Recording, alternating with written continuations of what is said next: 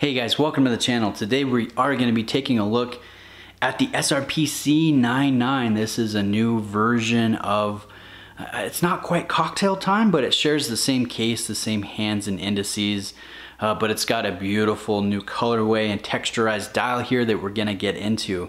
So let me pull it up in front of the camera, give you guys a good look. Seiko, they they do some things so very well. They do other things average, and then they do other things below average. And I found that to be the case kind of across their lineup from their affordables up to their mid-level luxury and then their high-end stuff, Grand Seiko and Credor. Uh, they really excel in some areas and then some areas kind of fall flat or are average. And I would say that that same thinking applies to this new Presage. Some, you know, things are just average. I think the strap is average. Um, the movement, actually, let me kind of turn this over and get the camera to focus. I'd say for the price point, the movement is maybe even a little bit below average considering some of the things you can get from Tissot or Hamilton. Uh, I'd say, you know, your butterfly, not butterfly, but your, your signed uh, folding to boy my camera's having troubles focusing. Let's go back to the watch head but the buckle i'd say you know is is, is probably average for the price point. Your domed crystal is very beautiful but again it's hardlex it's not sapphire. So there's some things you know where you kind of are let down so to speak. But the thing that really just goes to the next level is the dial. Far above average for this price point. In fact it's incredibly impressive what they're able to do. And Seiko is no stranger to doing exceptional dial work.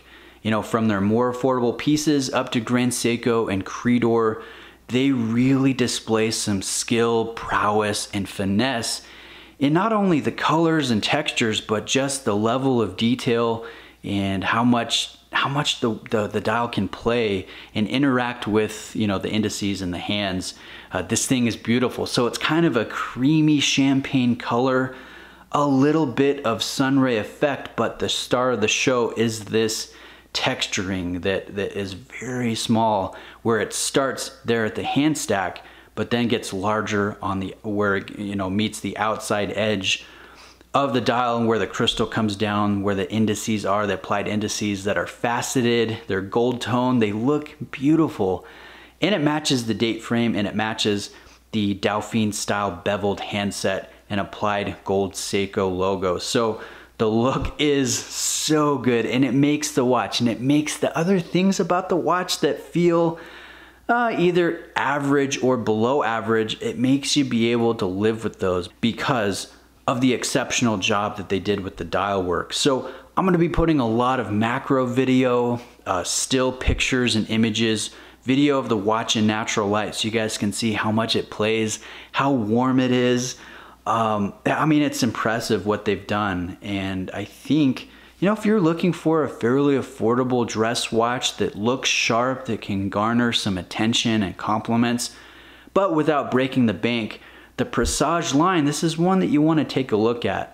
Sure, the movement's not going to be the most accurate, the strap is not going to be the highest quality, but um, you know, the case shape, the crystal, the applied markers and everything, um, it's a very good look. It's a strong design. So I'm gonna put a link in the description to the Seiko authorized dealer that lent this in for me to present.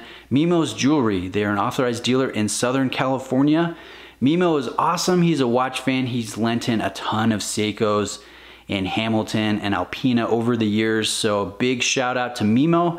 And I'll put some discount codes in the description so you guys can pick up uh, these watches from an authorized dealer at more, more like gray market pricing.